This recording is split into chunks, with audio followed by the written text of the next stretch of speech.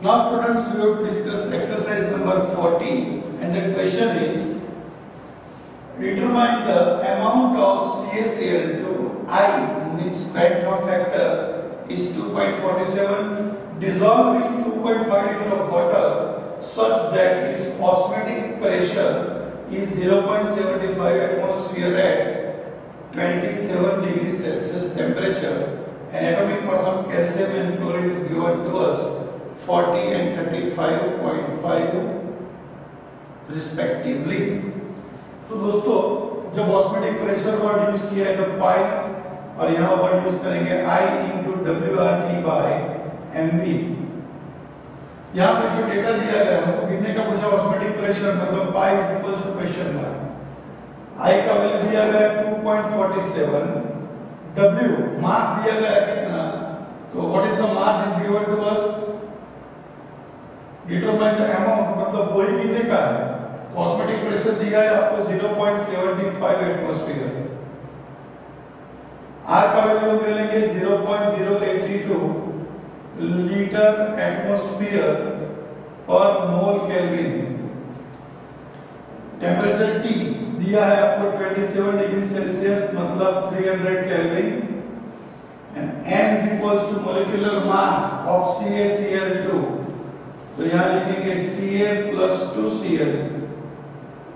Ca का कितना दोस्तों? 40 दिया है 40 2 into 35.5 40 और ये दोनों का मल्टीप्लिकेशन होगा 71 तो ये इसका एडिशन होगा 111 ग्राम्स पर मोल एंड वॉल्यूम दिया गया है आपको कितना? तो here the volume is given to determine the 2.5 litre तो ये हमने डेटा को सेपरेट किया, अब ये सब वैल्यू को हम यहाँ शिफ्ट करेंगे। तो पाई का वैल्यू कितना है? 0.75 आई का वैल्यू क्या है? 2.47 मल्टीप्लाई बाय डब्ल्यू गिनने का है आर का वैल्यू 0.082 टेम्परेचर है आपके पास 300 Kelvin whole divided by molecular mass है उसका 111 और वॉल्यूम दिया गया है 2.5 so therefore, w is equals to क्या?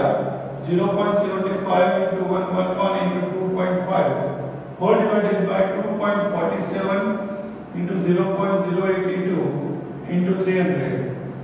go for division friends इसका जब डिवीज़न करेंगे तो क्या होगा 0.75 multiplied by 111 multiplied by 2.5 divided by 2.47 again divided by 0.082 again divided by 300 तो सिंप्लीफिकेशन के बाद आंसर 3.425 ग्राम्स ओके ये फॉर्मूला यूज़ किया, जो डेटा लिया था, उसको सेपरेट किया और उसके ऊपर से हमने उसका मास गिन लिया. Is that clear friends thank you very much